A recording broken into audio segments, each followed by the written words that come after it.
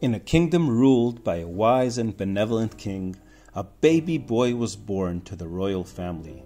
Named Shmuel, he was a cheerful child, full of laughter and wonder. As a young child, Shmuel loved his father in a simple, primal way. His love stemmed from the fact that he received nourishment, shelter, and affection from his father, the king. As Shmuel grew older, his love for his father deepened and transformed into a love tinged with fear he understood that his father's benevolence was a source of his well being, and that disobedience could result in punishments or a withdrawal of these privileges. His love was now rooted in the fear of losing what kept him alive. When Shmuel reached adulthood, his dependency on his father lessened. Believing he could fend for himself, Shmuel left the palace to carve out his own destiny. The absence of the tangible love and fear that he felt in his father's presence led him to a self centered life where his primary concern was his own well being. Years passed, and Shmuel grew wealthy and influential. He married and had a son, Yosef. Despite his riches and growing family, a nagging emptiness ate away at him.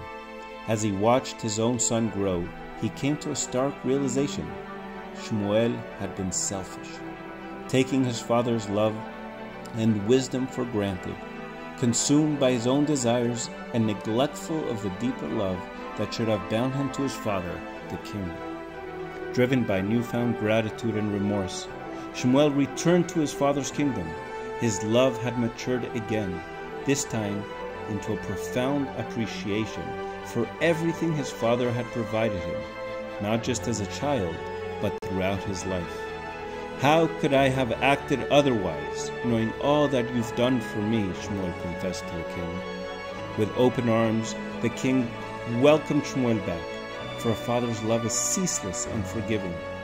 Over time, the king imparted his wisdom to Shmuel, teaching him how to be a righteous person, a caring father, a devoted husband, and a just leader. Years later, as an older and wiser man, Shmuel found that his love had evolved once more. Now it was a love full of awe and a different kind of fear, a reverence so deep that the thought of ever going against his father became unimaginable. How could I not love you, Father, when you have given me the foundations upon which I've built my life? As Jews, the stages of Shmuel's relationship with his father mirror our evolving relationship with Hashem. During Rosh Hashanah and Yom Kippur, we too have the opportunity to reflect on our connection with the divine. These sacred days offer the time to reevaluate and proclaim Hashem as our eternal King, embracing a love that encompasses gratitude, awe, and a profound, holy fear. And just like Shmuel, it's an everlasting journey towards recognizing and humbling ourselves before the King of Kings.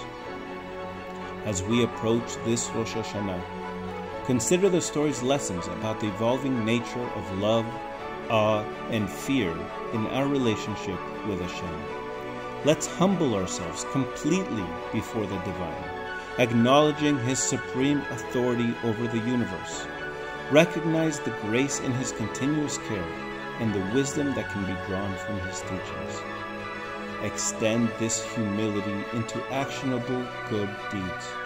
Give tzedakah to those whom Hashem has chosen to be in need. Our charity is a concrete way to demonstrate our submission to Hashem's will, sharing His divine benevolence with others.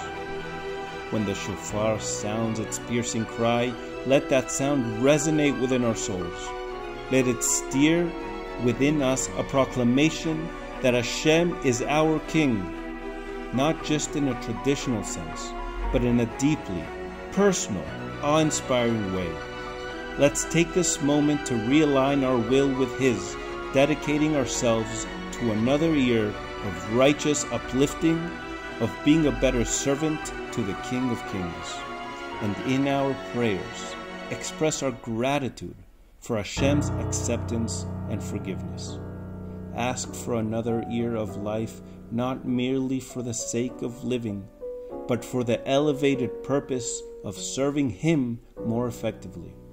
Seek to fill the earthly world with reflections of His divine qualities through our actions, our relationships, and our love.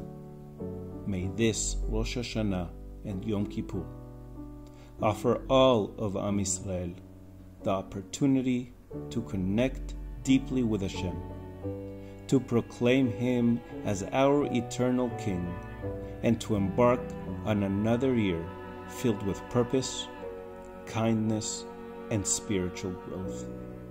Shana Tova umetuka, and Chatima Tova, Am Israel.